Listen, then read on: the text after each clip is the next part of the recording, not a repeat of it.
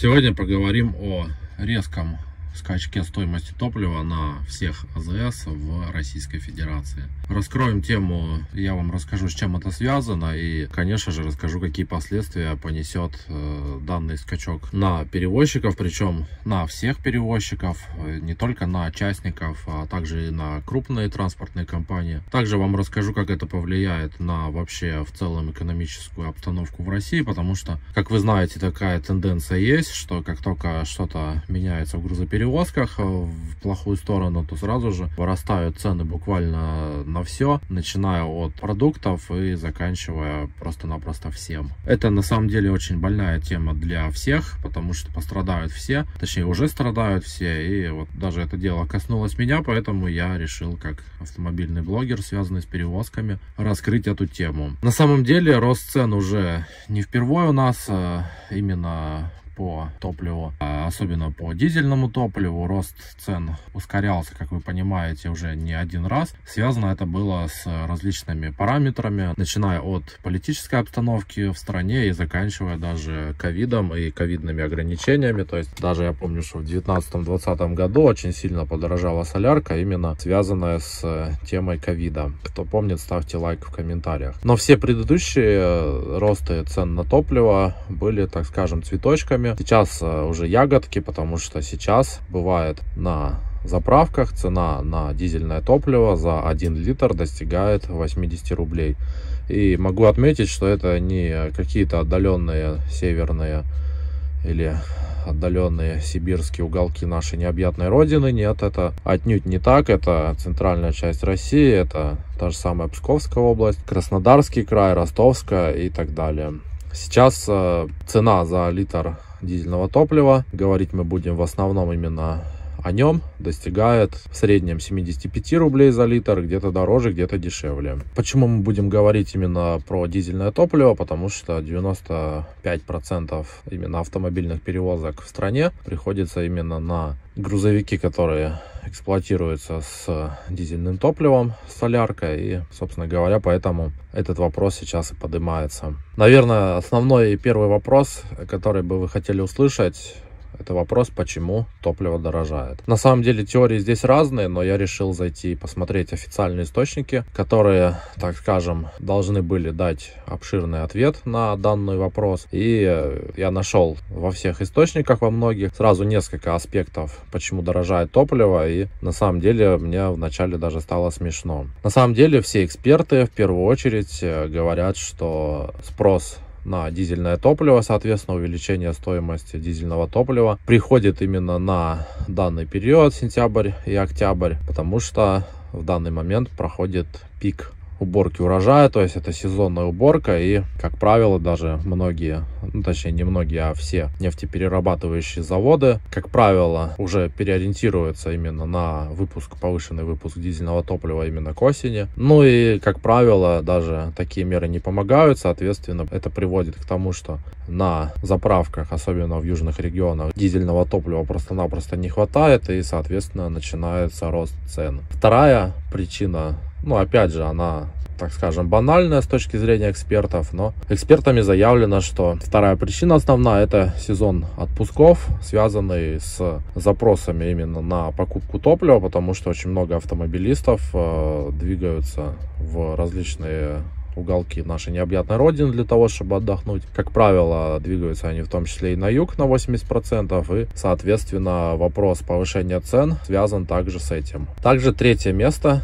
о котором эксперты говорят. Это место связанное, опять же, с подорожанием топлива, из-за чего это происходит. Они заявляют, что в конце летнего периода, как правило, и традиционно нефтеперерабатывающие заводы приостанавливают свое производство, либо сокращают, потому что именно на этот период проходит огромное количество плановых ремонтов и обслуживания оборудования. На самом деле, хотел бы сразу сказать, что я понимаю, что в связи с этим объемы выпуска топлива снижаются, но я не понимаю, почему, э, если даже эксперты знают, что именно этот период времени года, конец лета, начало осени и вся осень, в то время, когда топливо должно быть и должно поступать на заправки в максимальных количествах. Почему именно в этот период заводы встают на э, какое-то обслуживание либо ремонт? То есть лично я этого не понимаю. Ну и в принципе есть у них еще там, у экспертов, несколько причин, уже которые, так скажем, не сильно играют важную роль в стабильности цен на топливо. Но тем не менее они есть. И на самом деле это, наверное, сделано специально. Оно просто-напросто умалчивается от основного круга лиц для того, чтобы просто-напросто не было каких-то политических волнений в государстве. На данный момент, как вы знаете, очень сильно курс рубля по отношению к доллару и к евро просел и соответственно для тех кто производит топливо и кто продает его за рубеж стало намного более привлекательным продавать его на экспорт, нежели продавать его на внутреннем рынке. Также с 1 сентября, как вы знаете, лично я не знал, но вот узнал уменьшился размер налогового вычета для нефтяных компаний при продаже топлива на территории России, что сделало его вывоз еще более привлекательным, то есть вывоз топлива за границу. Ну и как вы понимаете, в данный момент, также еще в связи с тем, что в данный момент идет рост цен на нефть, в связи с тем, что доллар и евро дорожает и к примеру, если раньше нефть, к примеру, в середине лета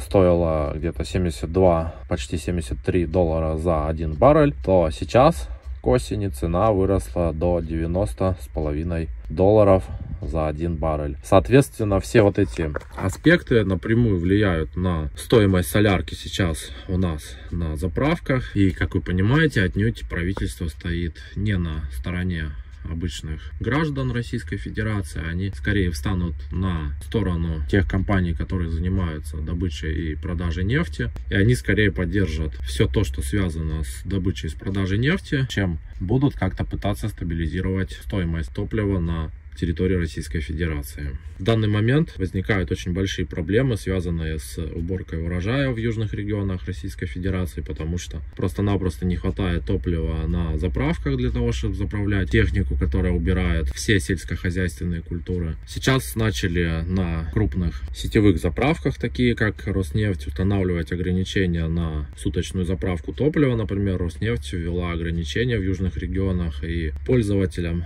карт Роснефти просто-напросто в день залить дизельного топлива больше, чем 150 литров, просто-напросто не позволяет. Ну, а как вы понимаете, даже, к примеру, мой грузовик за сутки может сожрать топливо, ну, как минимум в несколько раз больше, потому что если исходить из того, что грузовик за сутки может проехать 1000 километров, то, соответственно, это в среднем где-то 300-400 литров я должен заправить на эту 1000 километров. Ну, и как вы понимаете, я просто-напросто не смогу это сделать, если я, к примеру, буду двигаться по территории того же Краснодарского края, края, либо Ростовской области, либо там еще более каких-то южных регионов. И это очень серьезная проблема. Сейчас, насколько я понимаю, даже министр сельского хозяйства или как-то должность очень близкая к тому, что я назвал. Сейчас вынесли этот вопрос на обсуждение в какие-то серьезные политические круги, потому что уборка урожая сейчас под большой угрозой и, соответственно, уже начались волнения и у фермеров, и у крупных компаний, которые занимаются сельским хозяйством. И, соответственно, если сейчас какие-то меры не предпримут, то, возможно, будут проблемы и с уборкой урожая, и с волнениями среди тех слоев населения, которые непосредственно этой темой связаны. Также хотелось бы поговорить за перевозчиков. Сейчас я чуть-чуть поговорил именно про дефицит топлива, в том числе и дизельного. Но есть еще такая тема, как стоимость дизельного топлива. Есть перевозчики, их огромное количество по всей России. И могу сказать одно, что стоимость перевозок в данный момент не увеличилась, потому что я сам являюсь перевозчиком, мониторю очень серьезно все направления, особенно те, по которым я езжу сам, и я прекрасно вижу, что как цена в среднем была рубль километр на перевозки до поднятия цен на топливо, так они и остались плюс-минус такими же. И пока что я не вижу какого-то роста именно стоимости перевозок в связи с подорожанием солярки. Но на самом деле я могу сказать, что подорожание солярки сейчас очень сильно бьет по карману, особенно маленьких перевозчиков и пашников, у которых одна, две, три машины, потому что, как правило, у таких маленьких компаний каждый рубль на счету и подорожание солярки очень серьезно стало бить перевозчиков маленьких. Могу сразу сказать, что не только маленьких, потому что стоимость солярки, которая, если раньше была в районе 50 рублей, 53, а сейчас на многих заправках она достигает 70 рублей за литр. Это все-таки весомый аргумент в пользу того, чтобы задуматься о целесообразности ведения бизнеса в грузоперевозках. Могу спрогнозировать сразу, что если в ближайшее время ситуация не исправится на топливном рынке в Российской Федерации, то в любом случае вырастут все-таки цены на перевозки, потому что перевозчики в убыток себе работать тоже не будут, соответственно сразу же вырастут ценники на все, потому что сейчас львиная доля всех перевозок приходится именно на автомобильный транспорт. Если в Советском Союзе, к примеру, была развита инфраструктура по перевозке грузов именно по железным дорогам, то сейчас она хоть и пытается как-то нивелировать и нарастить темпы по перевозке грузов железной дорогой, все равно грузоперевозки автомобильные очень сильно доминирует, соответственно, как минимум 80-90% всех грузов двигается по дорогам России и, как правило, на тех видах топлива, которые сейчас очень сильно подорожали. Соответственно, готовьтесь к тому, что цены вырастут и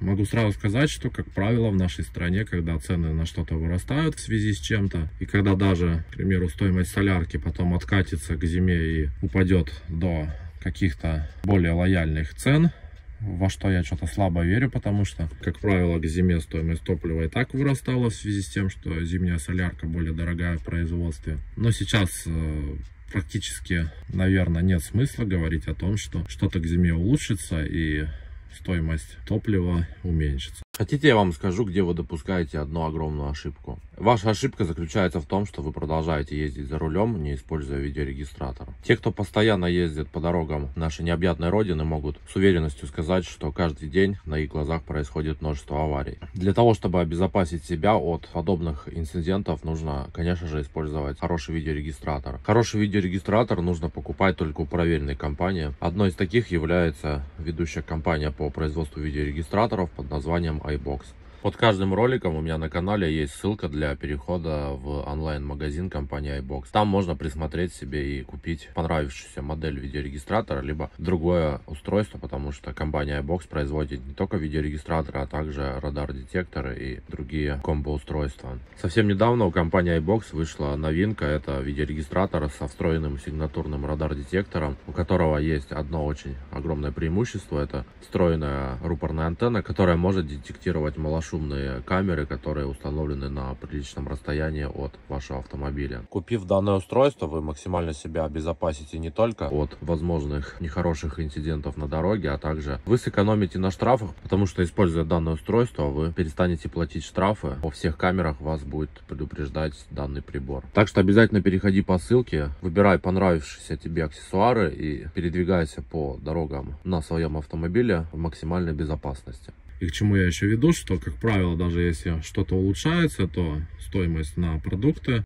уже практически нереально откатить. Я не говорю только именно про продукты пищевые, это про все виды товаров. Абсолютно. Если, к примеру, цены по какой-то причине на сколько-то процентов взлетели, то еще ушлые коммерсанты под этой эгидой умудряются навернуть еще сколько-то процентов на стоимость накрутки и, как правило, откатывать изменения они никогда в жизни не будут. То есть Сейчас э, я не могу сказать, что Россия готовится к какому-то экономическому кризису. Это, наверное, будет громкое заявление, но отчасти оно, может, все-таки будет правдивым на какой-то процент, потому что могу сказать сразу, что зарплаты, пенсии, как у бюджетников, так и не у бюджетников, они отнюдь не растут. И, соответственно, в связи с резким подорожанием топлива, сейчас резко подорожает все, что вы привыкли покупать. И, соответственно, у простого народа, как правило, зависящих от всех вот этих скачков, связанных с какими-то политическими решениями в стране, просто у большого числа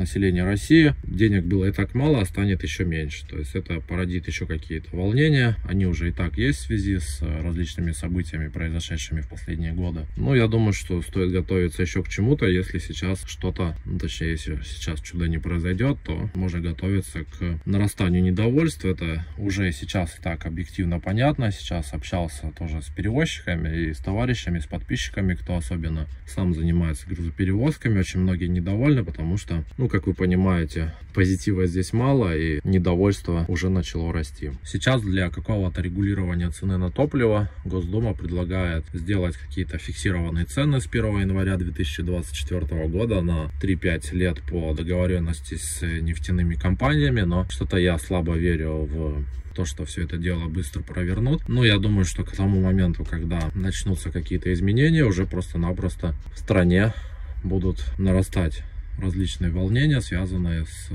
вот такими катастрофическими подорожаниями. Сразу хотел бы дать на, на небольшой совет для тех, кто занимается грузоперевозками, у кого малый бизнес. Ну, я думаю, без меня и так прекрасно вы все знаете, что топливо с колонки, ну, практически ни один ИПшник не заливает, особенно если в компании очень мало машин, к примеру, как у меня. И мы просто-напросто, стараясь выжить, покупаем солярку либо по рации, либо на каких-то нефтебазах, либо у так называемых НДСников и так далее. И, ну, как правило, это дает какой-то профит, какую-то хоть небольшую, но выгоду в связи с расходами на топливо. И, к примеру, удается покупать солярку от цены на заправке где-то со скидкой в 11-12, ну иногда в 15 процентов, если вы покупаете топливо большими объемами и где-то у знакомого дяди на какой-нибудь нефтебазе. Это, конечно же, позволяет хоть как-то держаться на плаву, но могу сказать сразу, что если, к примеру, раньше, еще месяца два назад, я покупал топливо по 42 рубля, где-то по 43, то сейчас мне приходится покупать топливо в связи с ростом цен на топливо. Тавтология, но я говорю правильно. Сейчас я топливо покупаю от 52 до 55 рублей за литр. Это, конечно, выгоднее, чем на заправке, но все равно это очень много, особенно в связи с тем, что цены на грузоперевозки пока что не растут. По крайней мере на тех площадках, которыми пользуюсь я для поиска грузов. В конце ролика хотел бы спросить вас, что вы думаете по этому поводу. Хотел бы послушать мнение тех, кто действительно связан с бизнесом перевозок, кто является собственником грузовых автомобилей. Как на вас повлияло подорожание топлива, что вы думаете по этому поводу и какие ваши дальнейшие прогнозы. Мне очень интересно будет почитать в комментариях под роликами ваше мнение, поэтому обязательно пишите, что вы думаете по этому поводу, а я почитаю. Также в конце этого ролика хотел бы посоветовать канал Директор Дороги. У него очень интересный контент у автора данного канала, поэтому советую вам перейти посмотреть его ролики и думаю, что вам понравится. На этом у меня все. Всем спасибо, кто слушал внимательно мой ролик. До новых встреч. Увидимся уже в следующем выпуске.